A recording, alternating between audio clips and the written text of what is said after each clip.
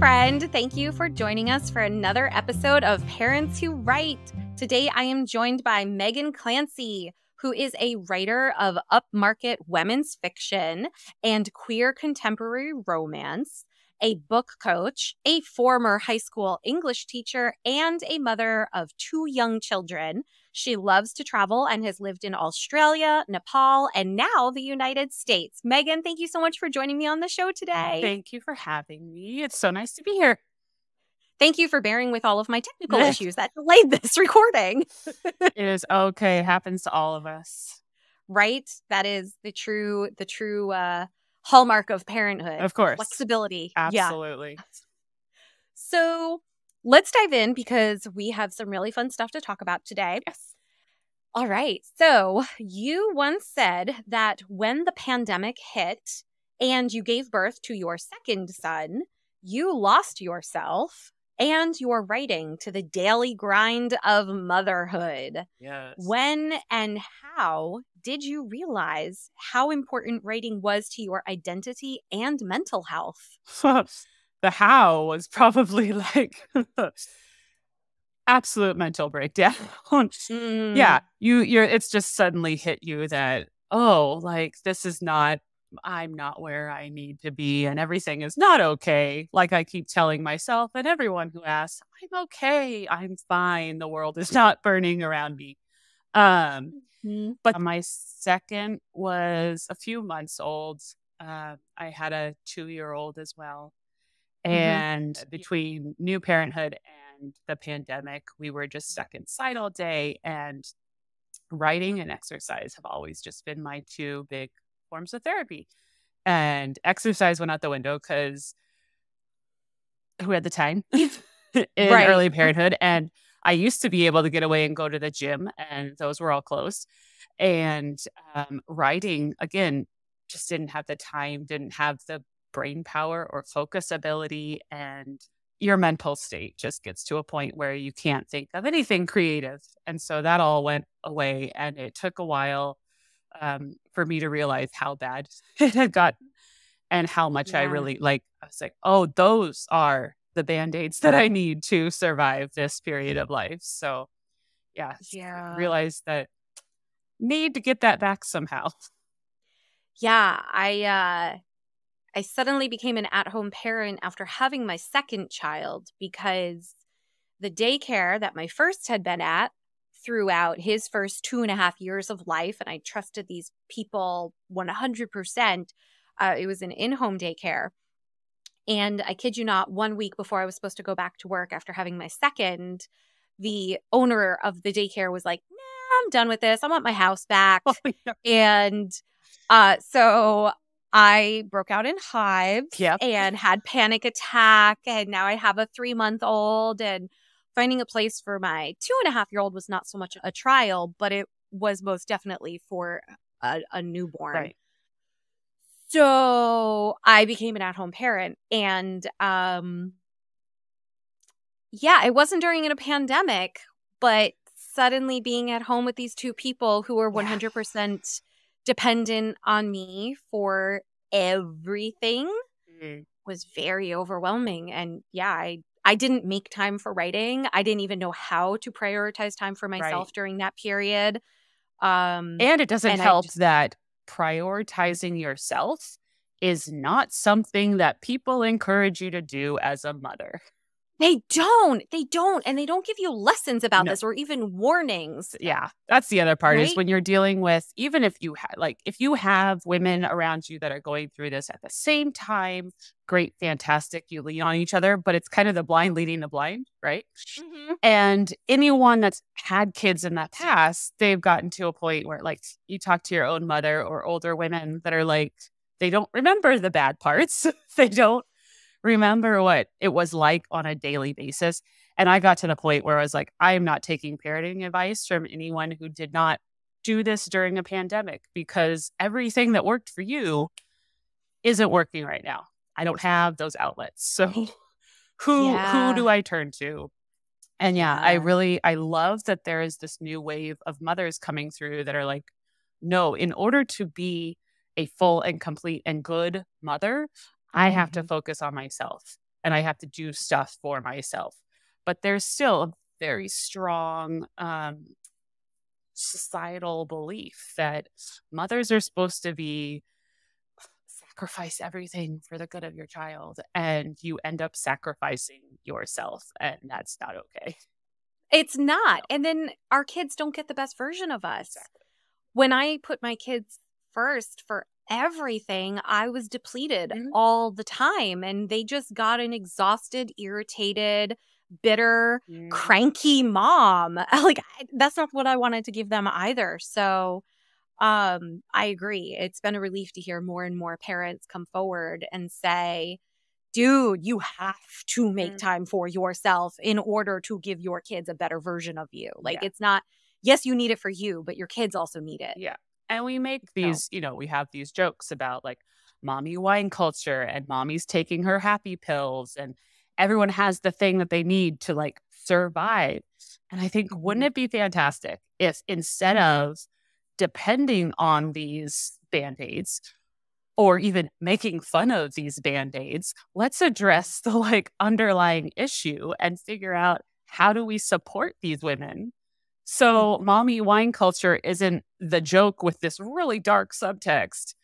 Um, wouldn't be necessary. And I'll always like have my glass of wine for fun and enjoy, but it's not going to be like the, the joke of mommy needs her wine because she needs to just take a break for a second. Uh huh. Yeah. I hear you. I completely agree. So, how did you change your mindset so that you could prioritize writing among the hundreds of other daily tasks that could consume your day? Right. Um, it got to a point where it's like, like you said, I I realized I needed to make this uh, an intentional decision and I had to figure out a way to make it a priority. And for me, like looking through the day, obviously there was at the time there was no daycare, the playgrounds were closed. There wasn't going to be a time. And my two year old had decided that naps were no longer a thing. Um, oh. both my children now believe that naps are not a thing. Uh, so I don't get nap time. So I knew that mm-hmm. during during the children's waking hours, there was mm-hmm. probably not going to be much writing time. Um, yeah. I can sneak in a few minutes here or there, but like for a, just a focus, just me focus. Uh, I, I'm not going to have anyone asking for snacks. I'm not going to have anyone asking for. It had to be outside of their waking hours, and I've always been more of a morning person. So mm. you know, wake up an hour earlier. And yes, there may be days when it makes me more tired, but if I get in that hour or so of writing before everything, mentally I'm in such a better place. Like I have yeah. I've done this bit for my creative process, for my mm-hmm. creative mm-hmm. growth, for my personal, emotional well-being. I've gotten it out of the way. So regardless of what else goes wrong during the day, and as a mother, you are well aware everything can go wrong during the day. And there's, oh, yes. I don't want to leave it to where after 8 p.m. I can finally write because I'm going to be too tired regardless of when I woke up in the morning. So having that early morning and the intention behind what I'm writing, it mm-hmm. definitely makes the me space, and it makes me, like you said, it makes me a better more uh, a better mom for my kids throughout the day because I don't have this in the back of my head of like, I wish I could be doing this now. No, I yeah. did that. I had that part of my day. This is a different part of my day. I love how different parents can find different ways to make it happen because I'm a night owl. Mm, and I went through years where I was too exhausted and mentally tapped out at the end of the day to write. And so I didn't write for several years. But what became a big change for me was the more I don't know why I laughed before I say this, but the more the more depressed I got, it sounds so sad. Um, the more I daydreamed, and then it mm. got to the point where I gave myself permission to write, right. and especially for a first for that shitty first draft right. to just tell the story, and I had daydreamed the story to the point that when I was ready to sit down at night, I was ready to go. Exactly, and the words just flew out at that point. So that was the big shift for me, mm-hmm. and then also like you said, uh, one of the other biggest differences for me was realizing that I I couldn't write for hours and hours like I used to. Mm-hmm. So I got really good at I've got the idea now. I've daydreamed it. I've got the key few sentences. Great. Let me open up my phone real quick, record those thoughts, and then I'm ready to go tonight when I'm ready to start writing. Oh, so that yeah. was another thing that was a big shift of I don't have to write for hours. I can sneak in 10 minutes here, 10 minutes there, or, you know, five minutes on the potty. Right. Awesome. Get another thought in. The, the number of times that I've thought to myself, how did moms, in, whether you work, you know, creatively or not, how did you get work done before cell phones? Because I've, yeah, the notes on the toilet or notes yep. while I'm sitting in the carpool liner or whatever. And this is like, yep. it does, my writing has changed or my writing time and the, the chunks of time that I get change as the boys get older. And I know other yep. women, like as your kids get older, okay, so I have three mornings a week now where they're at preschool and I can write a bit during that time. Um, mm-hmm. I'll leave the house. The problem is for me sitting at home, um, I start to think of all the other things that need to, yeah. the laundry and the, everything that else that needs to be done at home. So I always make sure I leave that I can get to their school a half hour to an hour before they have to get picked up. So I'm stuck in my car and that's writing mm. time. And I know, you know, moms that like, oh, now my kids play sports. I go and I sit at their practice and I write. And so as your kids change, I'm sure the writing schedule and timing changes. And for me, also, yeah. like you were saying with the notes app and all that kind of stuff, I'm never not writing. I mm-hmm. may not be at a computer physically writing, but like the story's always percolating in my head or going. So like lines of dialogue, plot points, mm-hmm. all these kind of stuff, always notes on the phone. I've dictated yep. things into my phone. It's it gets a little crazy when you like dictate all these random thoughts and then you go and you look at it later that night you're like what did i i don't remember what i meant. I love when that happens. Yes i somebody asked me the other day in my facebook group how do you hold on to an idea? Because they're like i had this idea and then by the time i was able to sit down and write it it was just completely gone and it's i play the scene over and over in my mm-hmm. head and i hold on to whatever the key moment was that was like the catalyst for that scene mm-hmm. so i'm like if i can remember those two sentences mm-hmm. that that's what i need and then the rest of it will come back to me if i can just hold on to whatever that key yes. catalyst was sometimes i like repeat repeat repeat yeah oh and speaking it, like making mm-hmm. it so it's audio and mental. So, like the number yes. of times that I've gone through an entire shower saying a line of dialogue over and over.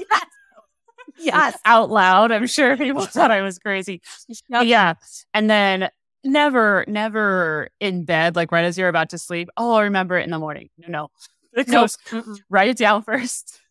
Yep just those few sentences it'll trigger the thought yep. in the morning. Yep. how many times when i'm doing the dishes and i'm talking out loud dialogue mm. after my husband comes in and he's like oh new scene for your book? Yes i am. Mm-hmm. please leave. I'm in the middle of my thoughts. Like, okay. They know. It's fine. Yeah. Um, so how did you get your family on board? What boundaries did you set? Um a door. That's that's kind of the big necessary thing and I, I talk to people about this and I know that I am, um, I'm blessed enough to have a space where I can close a door. I know plenty of mm. parent writers who, you know, you have to sit there and write. You don't have the door and the kids see you. And mm. it almost works. I when I'm typing stuff on my phone, my my kids don't relate that to work. If they see the computer and they see me typing, they I mean, they're two and four, so still like it's very their world is the point. But um, mm-hmm. I can say, you know, give me one minute. I just got to finish typing this or whatever. For mm-hmm. me, like I was talking about, you're always writing in your head. Mm-hmm. What a lot of non-writers don't understand is me sitting staring off in the corner. I'm I'm working. Like I have I'm trying to process this thing in my head. So without the door, it's very easy for people to walk in, see you just staring at a wall and think you can be interrupted. Um, so yeah, the door and that morning time, like fortunately I have a very supportive partner and he, you know, until a certain hour in the morning that we've agreed upon, like if the boys mm-hmm. get up and thankfully they've started sleeping a bit longer. Um, oh, I know. That's nice. Fantastic. So nice. because My- it used to be like that was that broke my train of thought, right? Like if if I'm working here writing and pitter patter across the I hear them upstairs. Ugh, freaking mom guilt, right? Like Yeah. Yes. you start to think, oh, they're up. And even if I'm like, okay, he's taking care of them, I can sit here and write, but my mind already starts thinking about what what's going to be for breakfast. When do we have to leave? Mhm. Doing the backward math Mhm. of everything that has to happen today. Yep. And so, yeah, it's it's the separation and understanding of and having someone to support you in your journey. Yeah. I know far too many, especially mom writers who like don't take themselves seriously or aren't in a in a situation where whoever is their support person doesn't take their their writing seriously. It's a hobby or it's just for fun or Uh-huh. whatever. I yeah. I've worked with mom writers who their own partner doesn't know that they're trying to write just because either they don't feel like they would be supported or they're not confident enough in saying like I am a writer. And that's another Mhm. thing like making that statement to yourself and to everyone around you puts significance on it and that sets up a good boundary of like this is my thing, this is what I'm doing. Yep. Yeah. I am a writer. I encourage everybody to own that statement because it really does make a difference. And And not Um, a um oh what is everyone right? I am a like future writer. What is the um, oh, like, the mugs, future author. well the or future author that's fine but it's too many people put in there i'm a um aspiring writer oh, well, yes, Nope. aspiring writer. No, you are a writer. if you're if you're writing you're a writer like how how are you an aspiring writer an aspiring writer is someone that like maybe one day i'll write something is that Right. Is that what that is like I guess. no you're not an aspiring writer you might be an aspiring published author that's different Yes. that is But- different. you're not an aspiring writer you're a writer take like yes. claim it, give it intention and purpose in your life, and carry forth. Yeah. That was one of my favorite transformations to watch with my clients too Mm. where like one who started with me she was like i just want to journal every day that's it that's my goal to make this time for myself. And uh by the time she was done she was 10 chapters into her first novel. There you go. so it's and it just took that like even just the first month of no you're already a writer. Mhm. we're going to prioritize this for you. And she did and she was like yes this makes a difference. I'm not yelling at my kids as much and I'm like i know! And that's exactly why your partner should support that with you because everybody's benefiting from your writing. Yeah. So yeah. Pouring Ugh. into your own cup before you have to pour all those thousands of milk cups a day. exactly. Exactly. Um so i'm envious of your door. I am the mom who writes in the living room and for a long time it was the corner of the sofa Mhm. there's a particular corner of the sofa that once my butt was in that seat Mhm. and I had the laptop on my lap, that meant mom was writing. And my Mm. kids learned to see that visually. So at least I had that. But then I graduated to getting a desk in the living room because Mm. I just don't have a dedicated room right now. But my preschooler is in pre K in the mornings now for three hours. And so that's when I do, yeah, I know, right? Um, this September, he's starting kindergarten. And I'm, I'm equally heartbroken and equally elated. so, well, he's my last baby. So there's that bittersweet moment. Yes. But yeah. No, my So- children, if they if I sit on a couch, mommy transforms into a jungle gym. So Oh. um no, there's no sitting on the couch with a computer. Um I do throw on Bluey, which is Oh, heck yeah. And um the island in the kitchen is my desk. And I sit there and and type while Uh-huh. standing up at the kitchen. Because yeah, if anyone sits in this household, you are climbing equipment. I love it. He has my preschooler has climbed on the back of my chair and then onto my shoulders while I'm typing at my desk. Um, and I'm like, this is cool. And he'll play with my hair. And then I just keep typing and I'm like, we're good. Yeah. So and then he'll be like, Mommy, I've had enough now. I want to play with you. And I'm like, okay, bud, let me finish this thought. Let's go play. But he's content for a while for Right. me to finish my thoughts for at least 10 minutes while he plays with my hair and sits on my shoulders. Yeah. But um my phone showed me a memory the other day of when I had my first, and he was like brand newborn, and I was sitting typing, and it was one of those like he was in that phase where he needed something. He didn't ever like a pacifier, but my finger in his mouth was fine, oh, and so. My fingers are on the keyboard and this pinky is sticking in his mouth and he's laying next to the computer. And I was like, I miss those days. wow. When it was so impressive. Easy to write and keep them quiet at the same time. Yes. I have, I came across a photo of my then two and a half year old watching TV, and I had the baby asleep on my chest, Mm. and I had the laptop on my lap, and I was writing. When they couldn't Yep. move, wasn't it nice? Yes. It was nice when they couldn't move. Yeah. So you shared with me that motherhood can make it feel like writing dreams are unachievable and even inappropriate. Oh, it hurts, but I I I know how true that is. I've heard other people say that. So can you talk to us about that more? Yeah, it's kind of what we were saying before about so much of the message from society and culture and everything. And I know this is an, a very Americanized um, idea, but that like you should be devoted to your children. There, you should have no personal life, no every anything. Like Oh. you are a bad mother if you are not devoting every minute of your day to your children. And I counter that with no, them seeing me work hard towards something that I really want and have a passion. I don't think I could set a better example for them. And I agree. is so I don't want to just keep my writing to secluded moments when they're not awake. I make sure that they see, you know, we we talk about mommy's going to write right now and mommy has to do some work for writing. Um yeah, showing that example of no, there's something that mommy loves to do and she's putting a lot of effort into it and working hard to achieve certain things that she wants to achieve. Like why would you not want to display that for your kids? Mhm.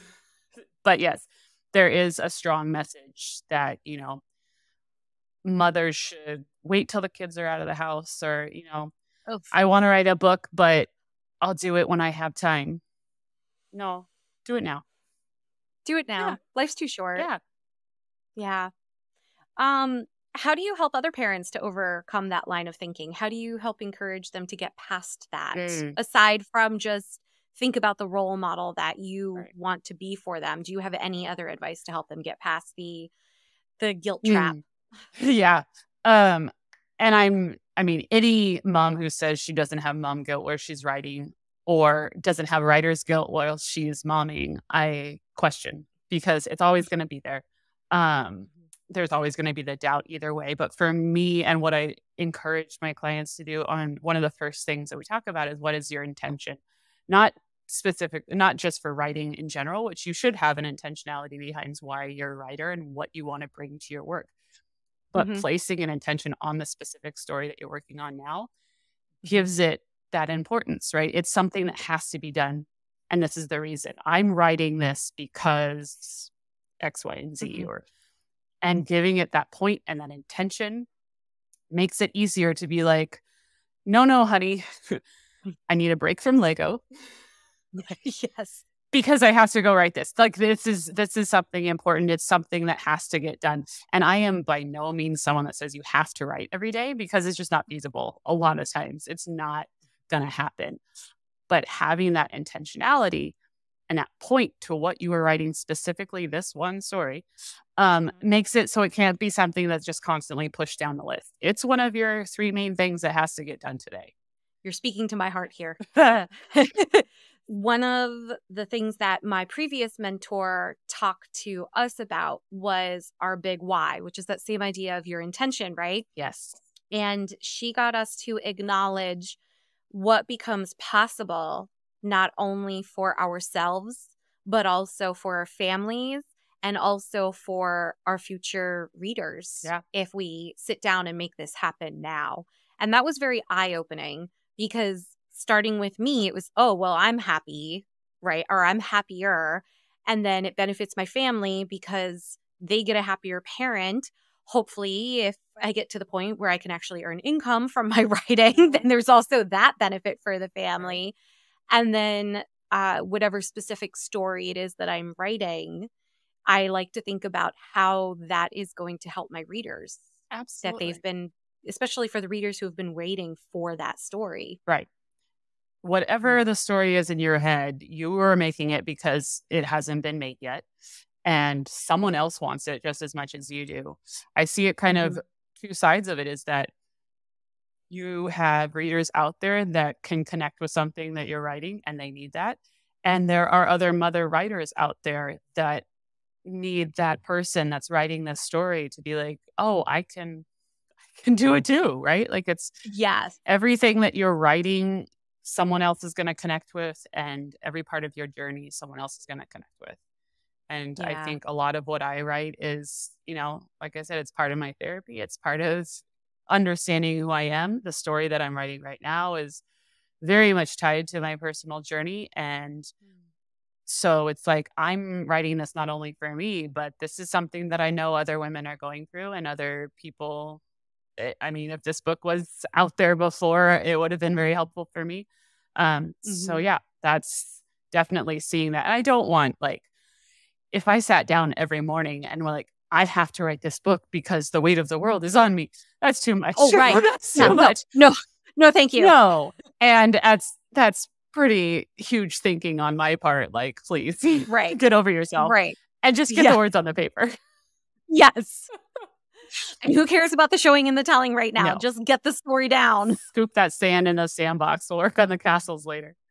Oh yes. Oh, I love that. That's such a fantastic description of that. So, what advice do you have to offer other parents who write so that they can find confidence with their own ideas and their works in progress? Um, confidence is like just yeah, it's it's the not thinking of the the whole. Think of the next steps that you have to take. We're going up this staircase. It's one thing mm-hmm. at a mm-hmm. time. Um, everyone started somewhere, right? Everyone you always hear about like every draft is a shitty first draft. I would love to oh, like some of these big authors, it would be really nice if they like give us a sample of what the first draft was of your book because I know they having that that's where the confidence comes from is stop comparing yourself across the board mm-hmm. and that goes for writing and momming like motherhood yeah. is about constant comparison right and you're constantly told you're not good enough because someone else is doing something better um eh, just stop comparing it's your journey um don't worry that someone else got their book written in five months and you're taking five years, it does not matter. The books will get out there. In the episode that I recorded with H.L. Brooks, mm-hmm. she said to stop comparing yourself to other writers because that's basically an imposter syndrome injection. Absolutely. And I was like, I love that. That's true. Yeah. Like, I like keep picturing now are these like instant injections of imposter syndrome because we keep comparing ourselves. Yeah. So I I agree 100% with that. And I've caught myself before like my writing group we joke about when we all read like a really really good book and it's like well should we just like give up now? Like this is there's no way that we're ever writing like this, right? Like we should just stop right. writing. but that's not the point, right? You're not writing to equal someone else in their style. You're writing mm-hmm. to create your own thing. And imposter syndrome is, is it's a strong force in the creative field. And it's it is. separating yourself, um, especially once you get further down the line and you started like querying books and some you have a like a whole desk drawer of manuscripts that have been put on the back burner for a while. Um, yeah you got to separate the business from the writing because the rejection yeah. is constant. And it took me a while to get the thick skin of like, nope, next thing, moving on. Yeah, I love it. Yeah. Um, there was somebody in my group who had recently posted a question of, "Oh, I started this idea for this story. Can somebody let me know if this is like worth even continuing?" And I replied, I don't remember 100% what I said, but I was like, how could we possibly know if your story's worth telling yet mm. because you haven't told it? you don't know what you're going to discover the more you write and develop this idea. You don't know what it's going to turn into. You don't know what nuggets of gold you're Absolutely. going to discover or dig up or whatever the analogy is with right. gold. Um, but mine out of that mountain. And you're never gonna right? like whatever your story idea is at the start, what you yeah. end up with at the end might not include that original idea at all. Exactly. Like part of it is, especially with the shitty first draft, is that discovery of what you're going to tell. So I was like, please don't judge that yet, friend. Just yeah. keep writing it. And, you know, then when you're done with your shitty first draft, then you can look back and be like, okay, where are my plot holes? Mm-hmm. And what characters did it turn out that I didn't need? And, you know, what, what, character arc is it that I'm trying to tell here? What transformation is it that I want at the end? What message am I trying to convey? Right? Like you don't you don't know that yet. And so I was like, don't stop writing it. And well, no. who am I to judge your story idea right now? Like that's keep going. That is a writer that needs and we all do. We want that mm-hmm. validation, right? Like I'm I'm yeah. This is a good story. I should write it. And I would say, yes, start writing any any story, and you're gonna get twenty thousand words in and realize, nope, don't want to write that one. I have this other story in my head. And that's a problem when it happens over and over again when you reach a certain mark and you're like, I'm going to let my brain focus on something else for a while. Um, mm-hmm. But you got to just try, like, get get mm-hmm. those, get to 20,000 words and see if you're like, no, this isn't it. And that sounds like a lot of work, and it is, but you got to try all the openings before you can get in the right house, right? Yeah, exactly. And you don't know which one's going to pan out. You don't know which one's going to surprise you yet. So, and like okay. you write those 20,000 words and you don't like them right now, don't throw them away.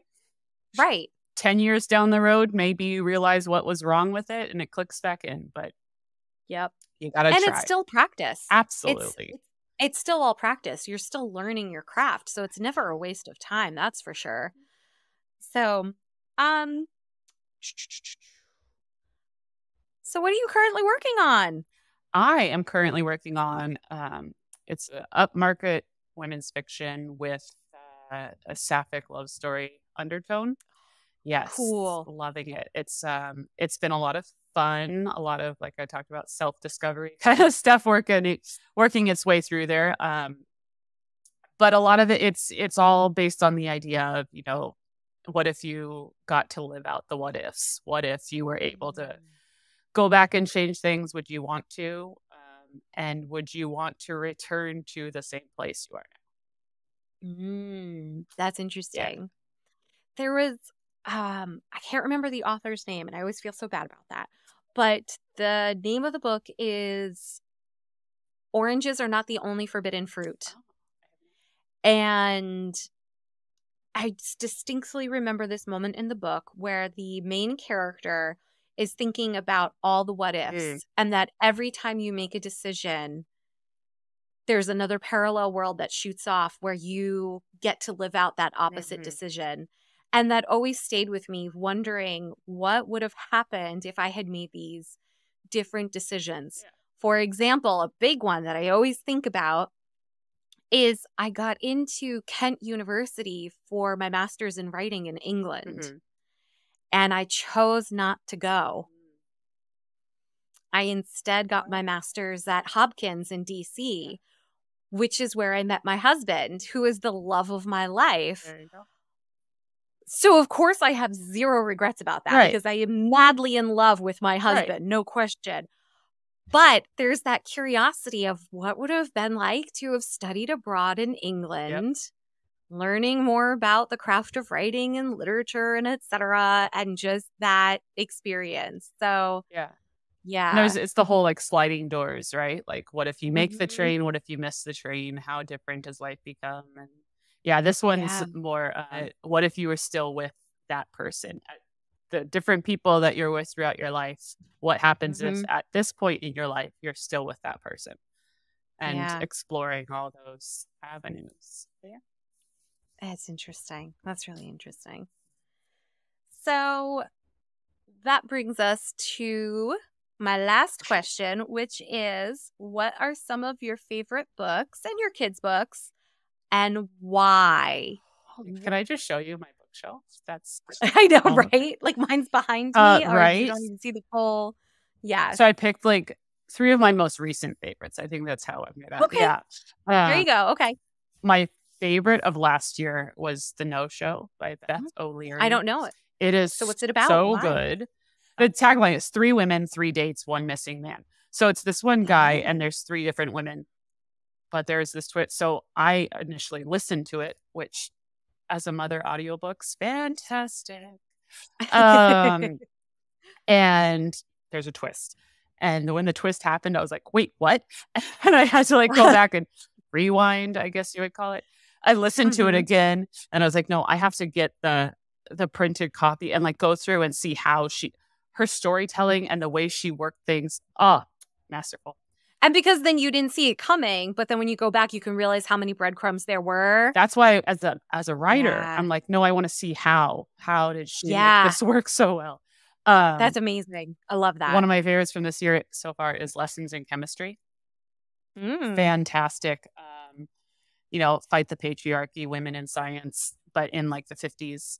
Fantastic. Oh, So, so as a craft side of things, so Mhm. much head hopping, but it works. And I was like, how oh, really? how is this working? But it worked. Like uh-huh. head hopping within one scene between the woman, the man, and the dog. Like you get in the dog's head, and it's but it's a it's a brilliant story, and the voice is masterful. And then So fiction or these, nonfiction? these are all fiction. Okay, so I wanted to verify. Yes, the- fiction. yeah. And then the other um, most recent love is uh, Delilah Green doesn't care. I don't know. Um, What's that one about? Ashley Herring Blake. She has this is the first in her trilogy. Her third in her trilogy is coming out this year, which I'm super excited about. Sapphic Mm. um, romance in this Okay. small little town up in the Pacific Northwest, and just yeah, all about you know it's a at the heart of it, it's a, it's a female women's group of friends story, and just like how you survive as a female in the world and traveling through it. But yeah, the the sapphic romance is just uh she does she writes it so well. So yeah, Mm. Ashley Herring Blake, I'll read anything by her. Nice. Um, with the kids' books, when I speak of audiobooks, our new thing is listening to a book in my car, and my boys are both obsessed with uh, the Magic Tree House, which is super old. Like I remember reading it, but they That love it. Super old. My four year old talks about Jack and Annie like they're his friends at school. You know, that didn't occur to me of that as an audiobook. We've been listening to Dragon Masters on audiobooks. And my seven year old loves them. My four year old is bored out of his mind. Oh. Like, Mama, what are you doing to me? So, but Magic Magic Treehouse Treehouse. might actually be a good balance between the two of them. And yeah, that one didn't occur to me as an audiobook. the last like they're so obsessed with it, and my four year old is constantly like, "Can we can we download the next one? Can we download the next one?" Yeah. And then for physical books, Lil Blue Truck is the two year old. Oh. Like beep beep quack quack. He's all about it. And then my four year old loves the um. This is the I built a house. This is the first one I think, but Chris Van Dusen does I built a house, I built a car, and I built a school, and it's just so imaginative and the it's Oh. very it's rhymey and the, the lines will stick in your head. But the illustrations are great. They're very um like retro.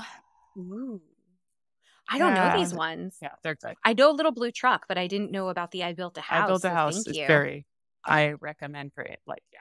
The the lines will get stuck in your head, but they're so much fun. It's Jack is this kid who has a great imagination and it's like, what would I put in a house? I'd put a room with no gravity and I would put an art room where there's like this giant piece of paper that you can just draw all over the wall and then rip it off when you're done. Mm.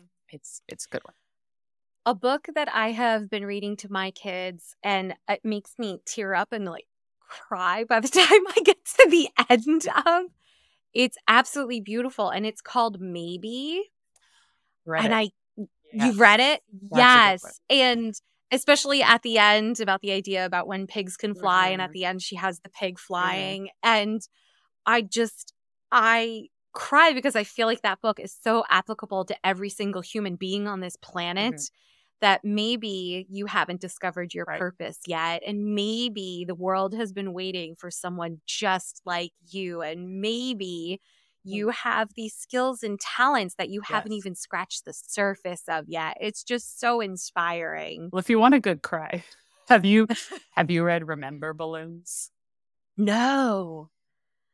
Remember balloons?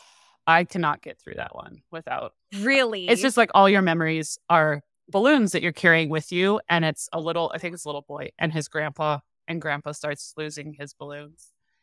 oh. oh. Nope, can't. Oh, my, Can't do and it. this is a kid's book. Yeah. This is a kid's book. It's great. Oh, The- I Yeah, I think I tear up more at some of these kids' books than, than adult Right? writing. Yeah.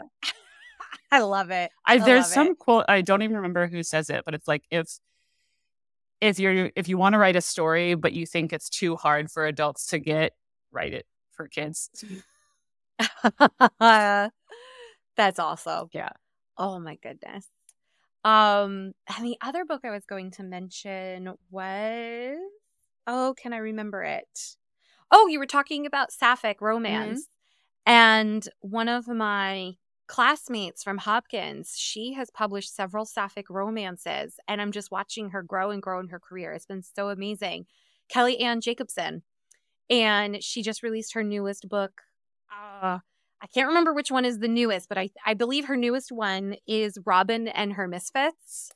So it's feel a like retelling of and Robin and his merry men. uh huh, but Robin and Her Misfits. And she did also recently another one, a retelling of Peter Pan, and it's Tinkerbell and Wendy. Ooh. hmm I'm just so proud of her watching her career grow. So Some of I these new really wanna- retellings coming out are amazing. I love them. yeah, Yeah. yeah. I haven't gotten Tinkerbell and Wendy yet, but I have to because I'm just I such an into it. interesting new idea for that storyline that's never been done before. So go Kelly. Right. We need more more queer books out there in the world, please. I agree. I agree. Well, thank you so much for joining me on the show today. Before we go, do you have anything else that you would like to share? Your contact information is all in the show notes. Yeah. So meganaclancy.com. Um, I have both my coaching and my author stuff up there. So yeah, reach out to me if you're a mom who wants to write a book. Let's work together because I am happy to help any way I can. That's fantastic. I love that you are helping more parents pursue their writing dreams. I feel like So- moms, particularly, have a lot to say and very little time to say it. So let's make it loud. Yes, I agree wholeheartedly. Okay, well, again, thank you so much for joining me. Thank you for having me. It's great talking to you.